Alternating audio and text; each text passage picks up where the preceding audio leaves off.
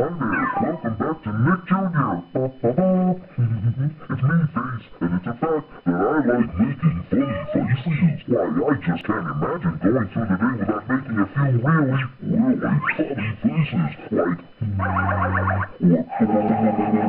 but wait, here's what I really like.